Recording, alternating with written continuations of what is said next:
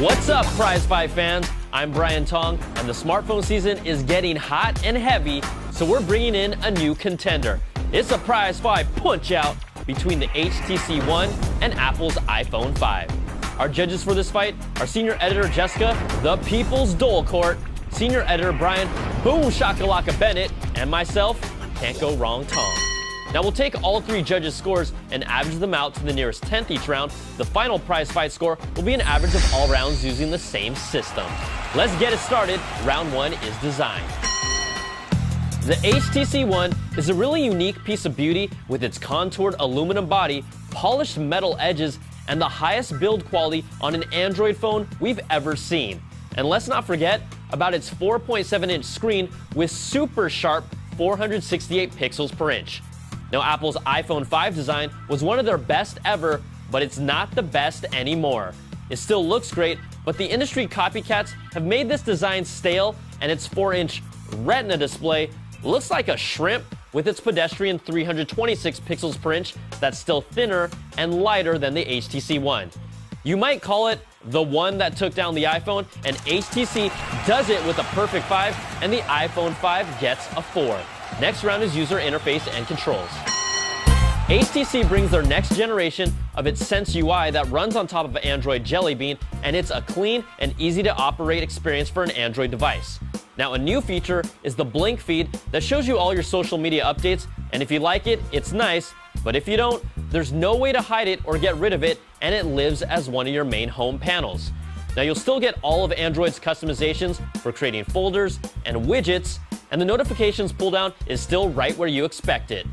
Now, Apple's iOS is still the easiest OS hands down, and there's no surprises here.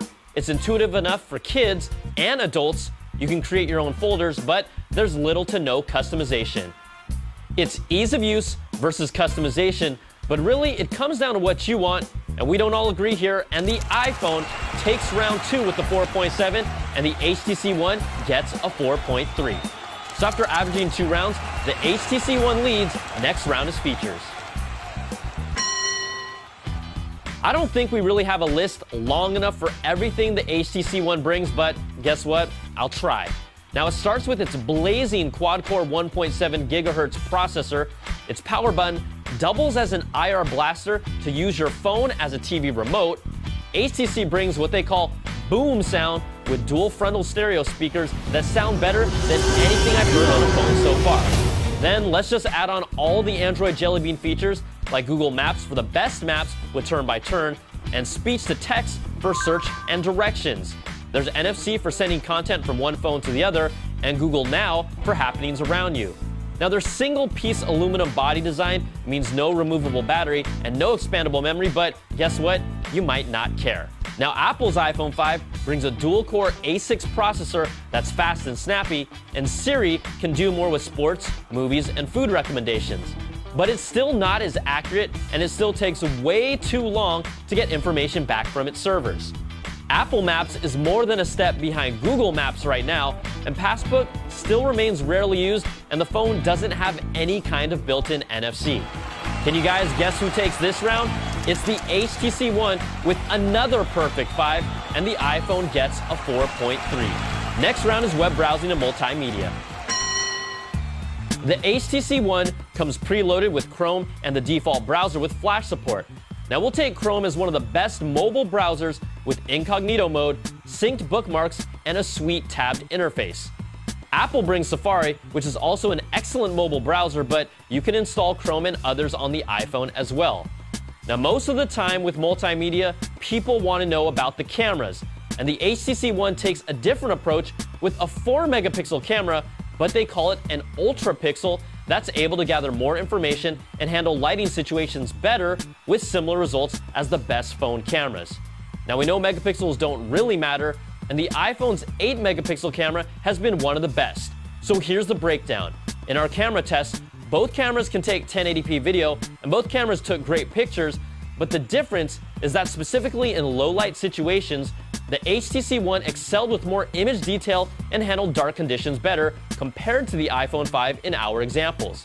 But then, in normal daylight situations, the iPhone had an advantage with slightly sharper and more saturated images compared to the HTC One that still took great pictures, but they were a little duller with color temperature pretty much being the same for both.